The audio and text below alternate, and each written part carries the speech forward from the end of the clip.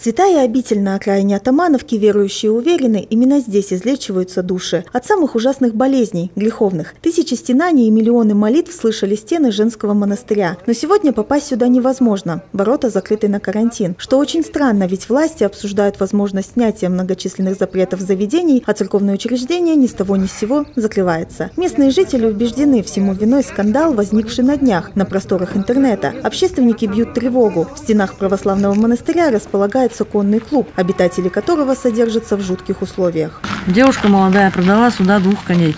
Кобылу гнедую, угу. светло, и вороного жеребца. Вороного жеребца мы видели на видео, до какого состояния он дошел. Торчащие ребра и исхудавшие тела. В таком состоянии местные жители застали молодых кобылиц. Они же уверили нашу съемочную группу, измученных животных увидеть не так-то просто. Их прячут от посторонних глаз. Лицезреть можно лишь вот этих жеребцов, за ними ведется должный уход. Странное преимущество, однако и ему есть свое оправдание. Божественные люди не могут так относиться к животине. Это же животина, это же животное.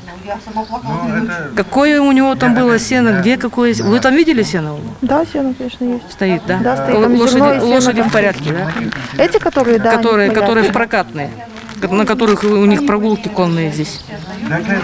Мы их тоже видели, что они хорошие лошади. Откормленные лошади – лицо конного спортивного клуба. Того самого, что располагается на территории монастыря. На вороном красавце может прокатиться любой желающий за символическую плату. Но символическую ли? Открываем прайс. Прогулка на лошадях 1000 рублей в час. Занятие верховой ездой 500. Здесь можно воспользоваться и услугами постоя за 15 тысяч рублей. Неужели такие расценки не позволяют содержать животное в должных условиях? Еще раз, я признаю, что у нас был кризис по этому поводу, то есть это не э, ну, бессмысленно отрицать.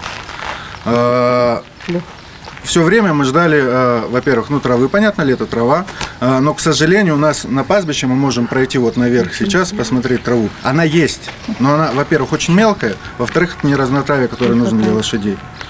Э, мы их поддерживали, еще раз, я могу дать номер телефона, мы поддерживали их, то есть там сеном, дополнительно э, кукуруза молотая, и э, овес и так далее. Приобретали сено у одного поставщика, и, как убеждает Александр, ежедневно. Однако сам продавец уверяет иначе. Сколько мы берем и в какой периодичностью? Часто берете. На, на сколько часто? Через два дня, два рулона. Два рулона так, каждых два дня. Так, одну секундочку. Когда мы брали... Когда мы брали последний раз? Вчера же брали. Когда перед вчера брали?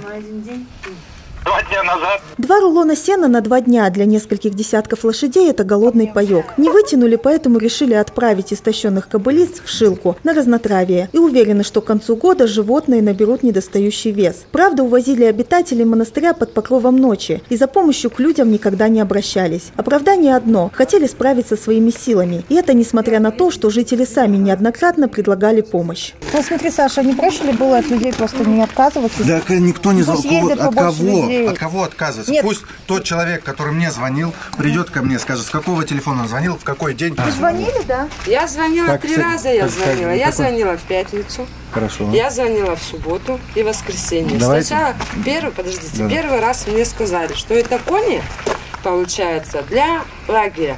Вот у вас лагерь есть при храме, детский лагерь. Вы по какому телефону звонили, простите? По вашему городскому э, номеру. Вы Тогда вот, вот несостыковочки. Звонили не мне, звонили в монастырь. Как утверждает Елена, в монастырь она звонила несколько раз. Сначала ее убеждали. Кони не наши, землю сдаем в аренду. После перестали брать трубку. Но теперь ты никуда не денешься, да и сам владелец клуба услышал глаз народа. Готов в будущем обращаться за помощью, когда лошадей привезут обратно. Но вот увозили ли их? Уже после отъезда нашей съемочной группы мы получили видео от местных жителей. Голодных лошадей хозяева прятали от прицела телекамеры в лесу. Худенькая, про которую я говорю. Здесь вот стоит маленький чебуречек. Вот вторая худая. Это уже маленькие пошли. Вот я иду. Лошадки туда все идут, бегут в тенек. Фу. Звездочки киносицатик как. Так, вон там он еще за деревьями сейчас покажу, с той стороны обойду. Там, то есть, еще лошади. И еще Александр убежал за лошадьми, там они ушли подальше. Вернуть их. Так, это у нас понька. Так, там он разодрались. Эй, привет! Больше всего пугает то, что подобное отношение к животным проявляют в таких стенах, позабыв о главном христианском учении. Будьте же заботливы, будьте участливы, будьте милосердны и добры не только к вашему роду, но и ко всяким тварям, что ищут вашей заботы, ибо вы для них как боги, на которых они взирают в нужде своей. Ника Новак, Николай Шунков, ЗАП.